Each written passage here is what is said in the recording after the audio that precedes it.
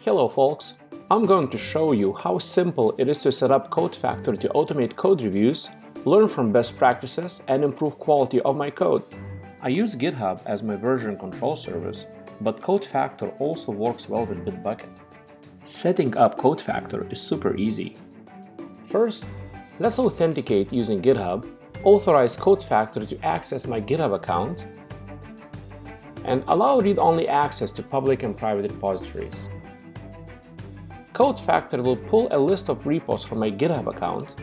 I'm going to select which ones I want to have continuously analyzed. Done! Here is my code quality dashboard with statistics, graded repositories, and developer leaderboard. I can always add more repositories as needed. Congratulations! CodeFactor will now automatically analyze repositories and provide actionable feedback with every commit and pull request. Now let's look deeper into code analysis.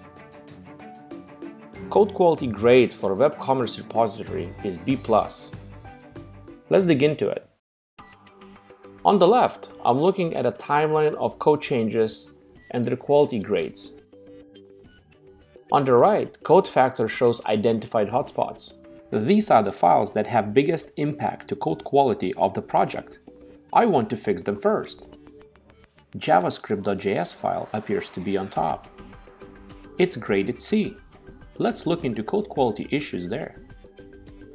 Okay, so there are a couple things that I could refactor. Here, CodeFactor displays only impacted lines of code, helping me to focus on what matters. Or I can choose to look at a full source.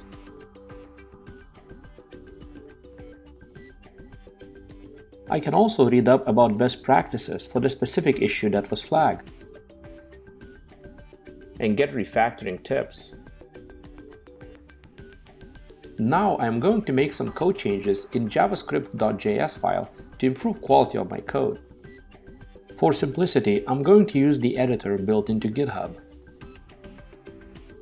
I'm going to fix the use of octals. And comment out variable deletion.